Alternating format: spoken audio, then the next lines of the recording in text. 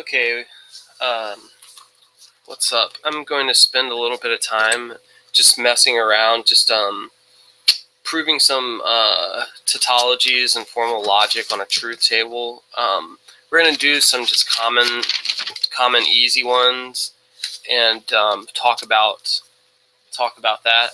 Um, I'm going to see if I can't do a share screen here.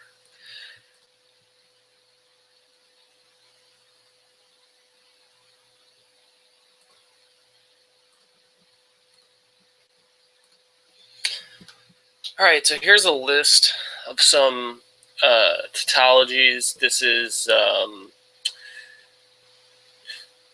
a whole a whole host of them here. Some of these are um, this is like the law of contraposition. Um, just shows uh, the contrapositive of of uh, A implies B um, is the same as saying uh, not B implies A. Um, here is the law of excluded middle. Um, here is a basic, a very basic tautology. This right here um, is reductio ad absurdum. Um, not A implies B and not A implies not B. Um, that would imply A. Um, this right here is the law of syllogism. If A implies B and if B implies C, then that would imply A implying C. Um, so, so let's see. Um, here we would just have to do um, the truth table for A and not A. And that would just be T, whoops, TF and F, T. And then, so, so now that we have the truth table lined out, we would just have to apply the OR function. And since this OR is inclusive, um, the inclusive OR function um, is is basically let, let me see if I can do it uh, here like this. P, I'm just going to show the inclusive OR function. If P or Q, um, the truth table for P or Q would look like P or Q. It would be, whoops. The formatting is going to be a little messy here. A little bit.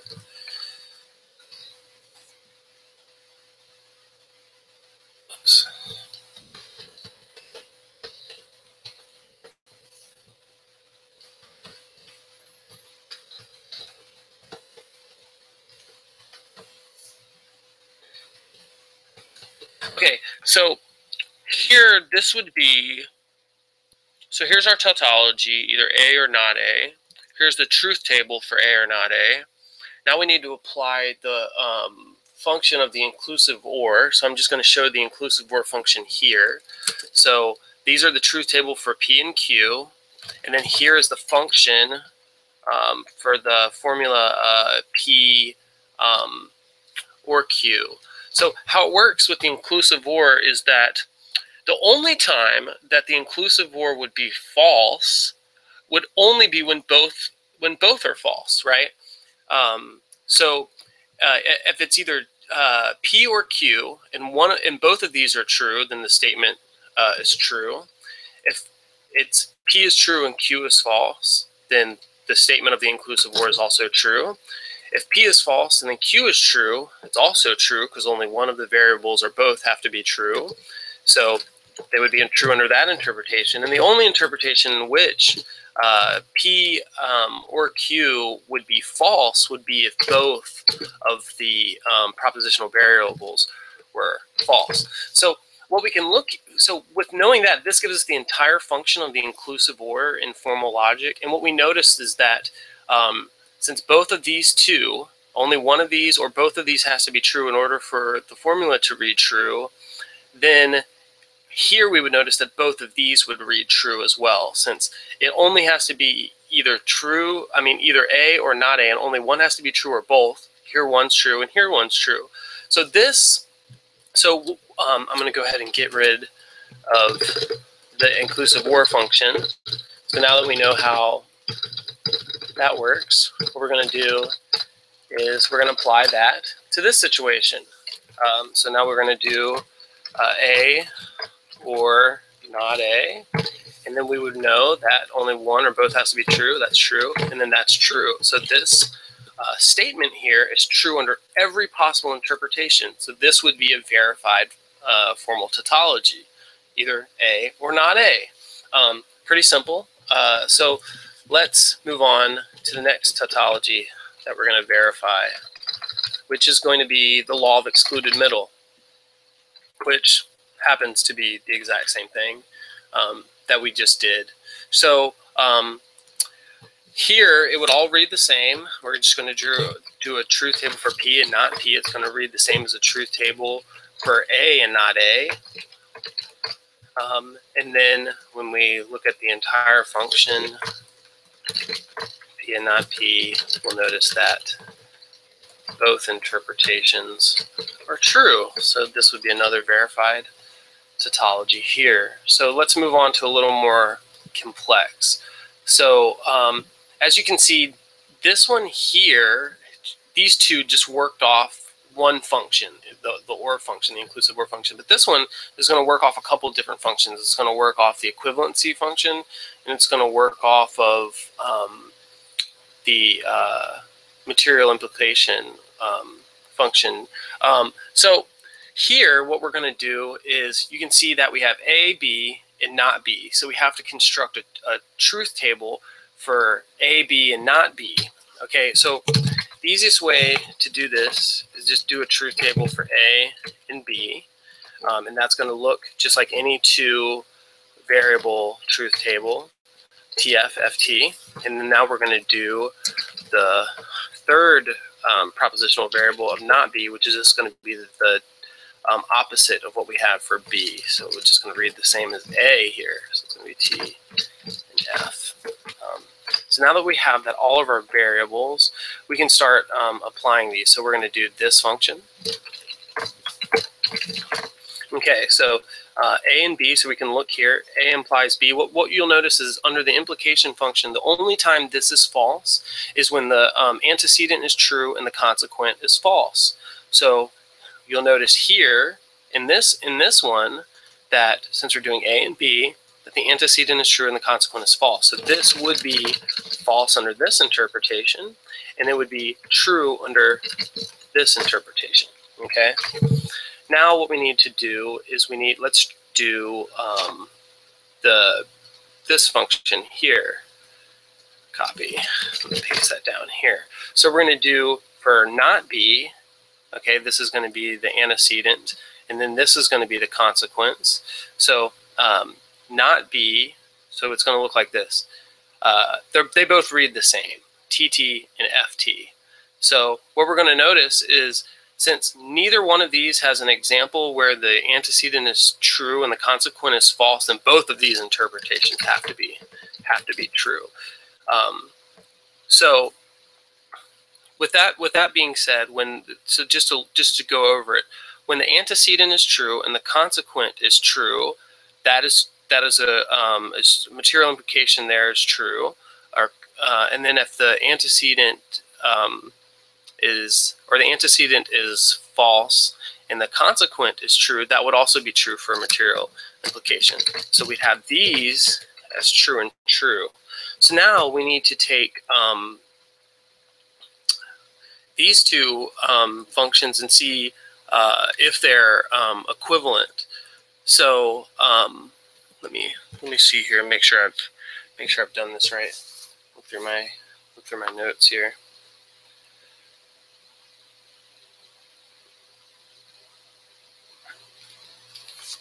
Okay, give me a second. Let me let me uh, roll this down a little bit further.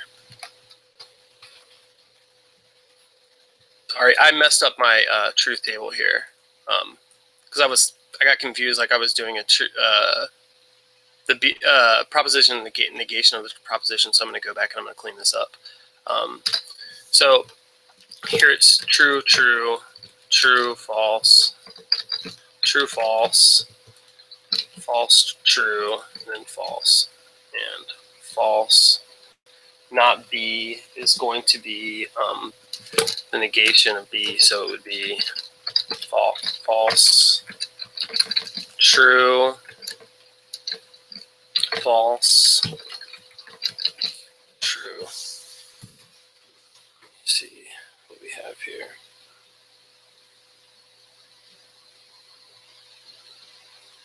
Okay. Yeah, I knew so. It looked like something was wrong there. All right, so let me let me slow down. So we have. Okay, we have okay. So we have our uh, truth table built up here. and Now now everything should go out go right. So um, A implies B would be so we have a full truth table here. So it's going to be true under this interpretation. It's only going to be false when the consequent is true and the antecedent is false. So this one is going to be false, and the other two interpretations are going to be true. That's where that's where I'm, i uh, messed up. Um, so now we're going to do for this one as well. So we're going to do not B and A. So this is the antecedent. This is the consequence.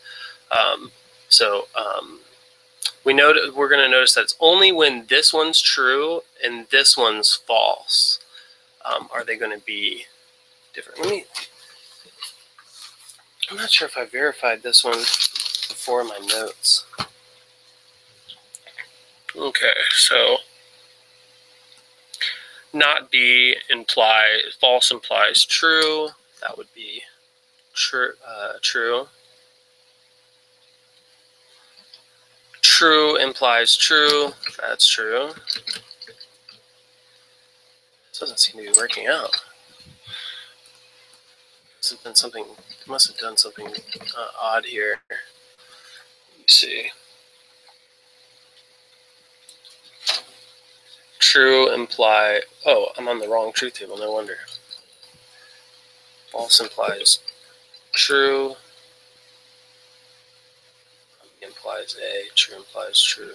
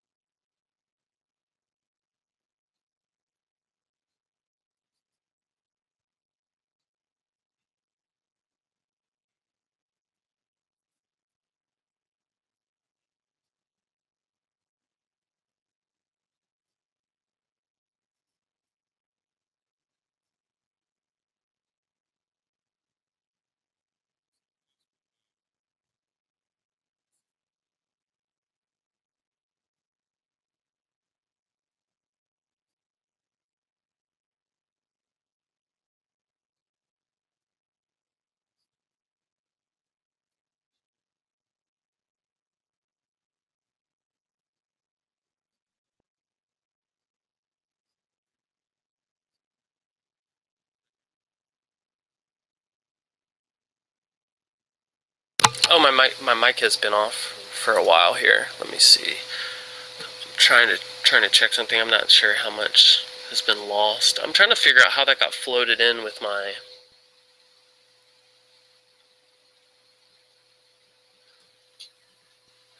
So let me see. I had those two. I had Yeah. Yeah, see I did I did copy it. I did copy it wrong. Okay, so that's where the that's where the problem was. So I'm going to come back and I'm going to just because since my mic was off, I'm going to show you guys. So starting from the top, um, this is just a minimal tautology, either A or not A. Um, it expresses the law of excluded middle. Um, let me see if I'm sharing. I'm not. Hold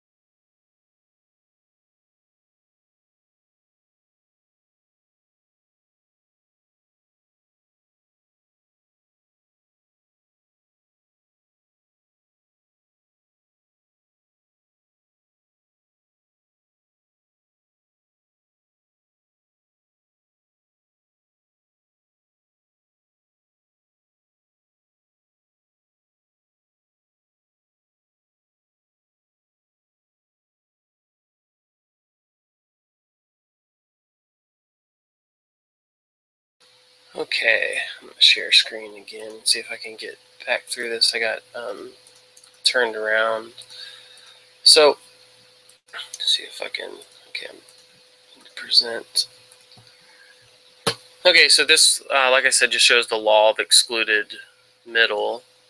And um, hold on one second.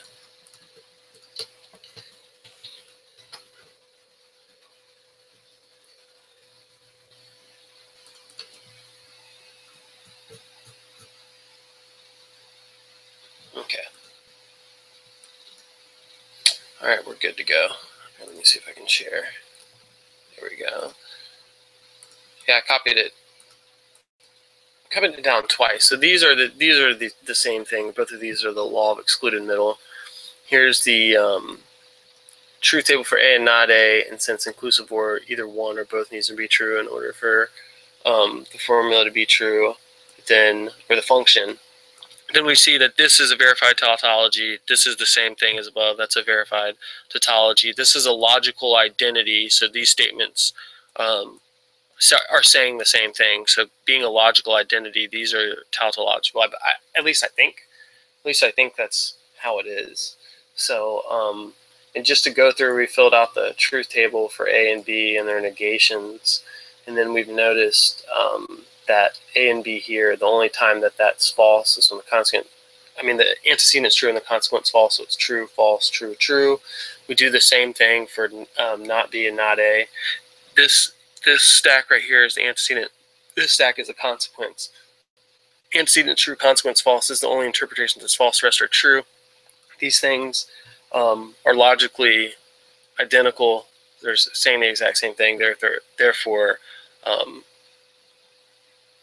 in an in equivalency, just to show you, in an in an equivalency, um, they both have to be the same. Um, so if one is true and the other is false, or one's false and the other is true, they can't be equivalent. They both have to be the same. So we know that these are both true, which means they're that the, the equivalency is true. These are both false. The equivalency is true here. These are both true.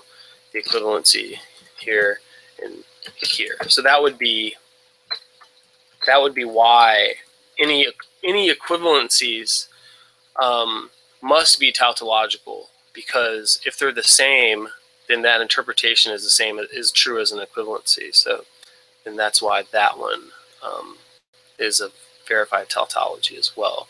So um, these two up top are the law of excluded middle. This one right here is the law of contraposition. Um, so moving on, took me I got hung up there a little bit moving on, this right here is um, a valid reductio ad absurdum. th this um, it just basically says that um, um, not if not A implies B, and if not A implies not B, then the implication of that is that not A is false, therefore A must be true. So that that must imply A. Um, and I, I, don't think I've ever done this one before, so I'm just going to kind of muddle through this. So we need to do, we need to do um, a, we need to do all the ones we did before. So this truth table right here will work. See if I can cut and paste it. Oops. Or maybe that's not the best. Maybe I should just go A, B, not A, not B, and then just true, true. I'll just copy the functions for the one above. T, TF, FT, F, F. These are just their negations, so it's F, F, T, T. And then this one is F, T, F, T.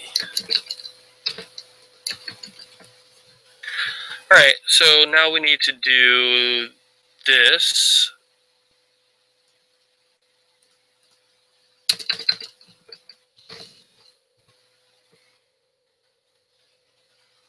Okay, so this is going to be our antecedent, and then this is going to be our consequent. So um, as you can see, this is the only interpretation that's going to be false, since this the antecedent implies consequence false here. So none of the other ones match that. So all the rest of the interpretations are true except the bottom one is false. So we're going to go true, true, false. Now we need to do this function, and then we're going to apply the um, going to apply the and function to it.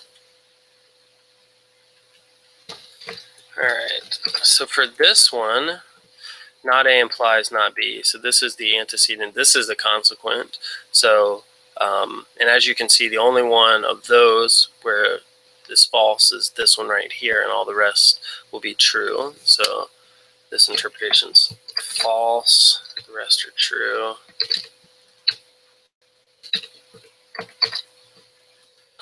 And this one is true. Um, yeah. Okay, and now we need to, um, to both of these functions, uh, we need to, our formulas, we need to apply um, the AND function. So what we'll notice here is I'm going to do this entire formula here. Oh, that did not work very well. See if I can lower it down just a little bit. 20. Nope.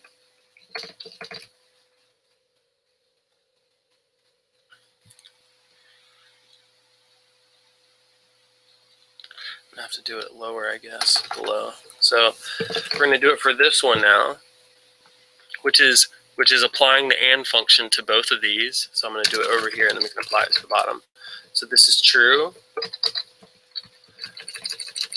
This is true. So the um, function for the and is that uh, basically um, the only time when the interpretation is true um, on a conjunction is when um, both uh, both are true, both propositions in the compound are true. So um, these others are going to be false on the bottom here, I believe. I'm just going to have to look over this.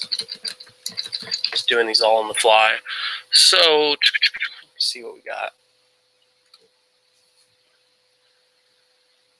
Not A implies not B, so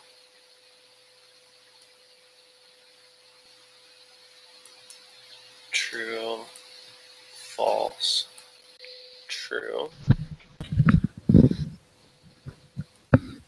Hey, what's up? Hey. Hey, I'm just running through some stuff here. You're familiar with this? Yep. Okay, cool. Um, let me let me see. Lost my lost my place. So, yeah. So that these both would be true. crap, I don't have enough room, so I'll do it here. True, true, false, false.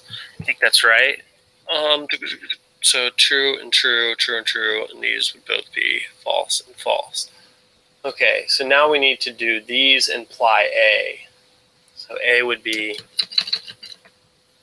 A would be the same thing as these. T hold on. T T F F. Um, so let me just see if I'm right here. That's my truth table for A, TTFF, and then TTFF is mine for these two. So, um, yeah, and the reason why this is a tautology is because true implies true is true, true implies true is true, false implies false is true, false implies false is true. The only time when that would be false is if the antecedent was true and the consequent is false, and that doesn't happen here, so that's another verified tautology there. Sweet. That's um, I know that the it's hard to follow, but I'm I'm sure that's that's right. The formatting looks really jacked up. Um, all right, I'm just gonna do one more. I I don't even um, think this is very interesting for anybody, but I was just gonna I was just farting around with this, and I figured I would do it live just for anyone that that cared. Um, so I don't even know if um, people. So let me see if I can give a little background information to kind of what um, I'm doing. So we're we're verifying tautologies and formal logic, which would mean that no matter how you change the propositional variables um, values of being true or false, that no matter what, because of the formula in every interpretation, it's going to be true. So it's impo- it's impossible to be false, um, and that's what it would make it um, a tautology. So I'm gonna do I'm gonna do one more, and then I don't know I may do a couple equivalencies. I think I already did an equivalency here that actually is a tautology, which is the law of contraposition.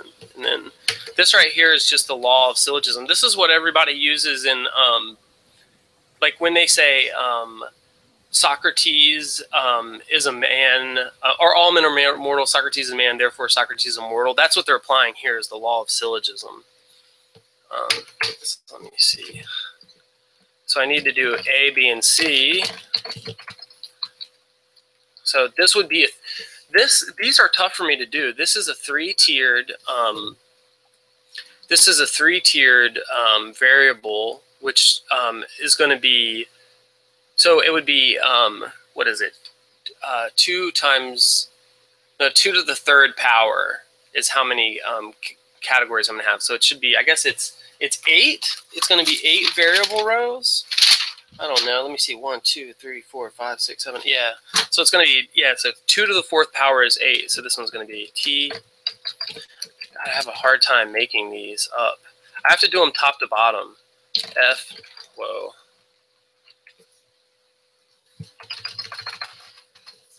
Let me see, F, F, F, and then um, let me see. We do T, T, F, F, F, T, um, T, F, T, F, T, F. Um, I don't know, where am I? These are complicated for me to do. I need to look at my uh, thing.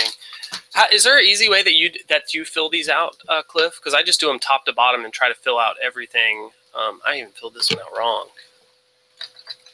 You know what I'm saying? Yeah, to get all your combinations. Yeah, so I just do I do them from top to bottom, and I just do every one, and then eventually it'll meet in the middle. And I know there's always see how these T's row down in a nice triangle here, and the F's will do the same, and then it all um, yeah, so the only other one would be, um, what is it? FTT. Yeah, F, whoops. F, T, T, and then this one would be T, F, F. That should be right, because it, it should come down, the triangle should come down here. There it is.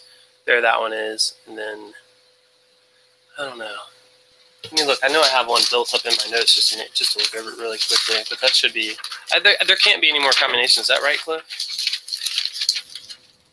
I don't have a three. I don't have a three variable in my notes. There's eight, yeah. and they're all different, so they have to be. I just want to check it over real quick.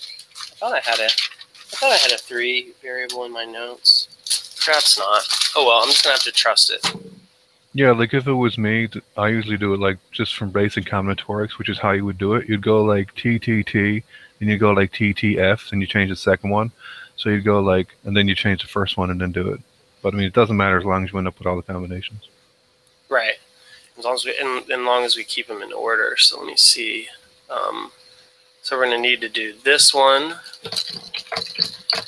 We're going to need to do this one. Then we're going to need to do. Okay, let me see what we got here. All right, so A implies B. This one's just going to have the four, right? Or no, I guess we would do it for every all eight. Yeah, so this one um, is true.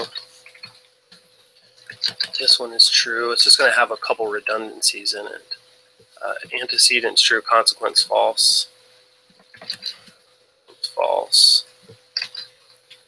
This one's going to be true. This next one's going to be false. And wait, hold on a second.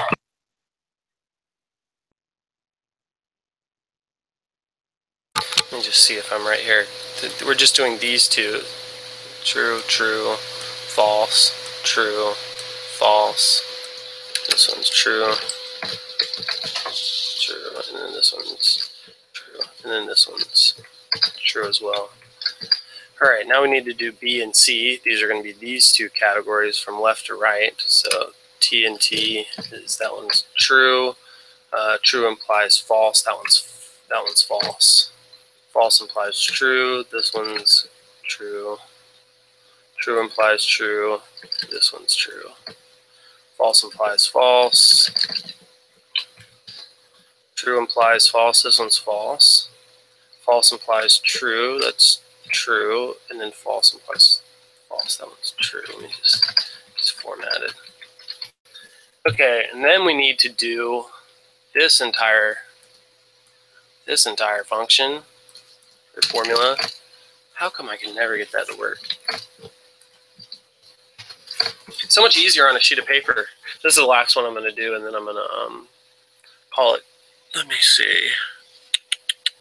So I've got these two, and now we're just applying the and um, function to these two. So this is going to be super easy. So I can just do that over here. So this one's going to be true. Um, since it's and, it's only when both are true. So false. Every other interpretation is going to be false. False. False. And then both of these are true. I've never, I don't think I've done this one, verified this one before. Um, so that's going to be the function for this is going to be true, false, false, true, false, false, true, true. One, two, three, four. Okay, that's eight. Man, this is a lot to keep in your head. This is good mental exercise, though. I think uh, people could benefit from this. Um, so let's see. There's the whole. So now I've got.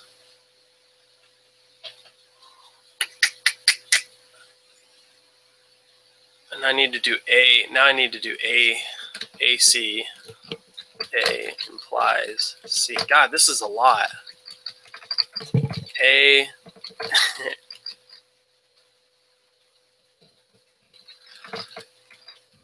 okay. A implies C. Now we're doing these two. So the, this category and this category. So those are both true. That's a antecedent true consequence false. So that one's going to be false. False. True, true, false, true. So these are both true. True. True. So let me see where we're at. AC. So true and true. True and false. That's false. True and true. False and true. True and false. So this one's going to be false as well. False and false. That one's true.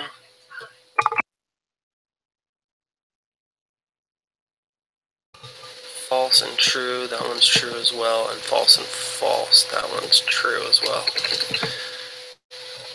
Man, if I made one mistake here, I'm going to be so burned. Let me let me see. Um, so now I have this. So then now th this is all.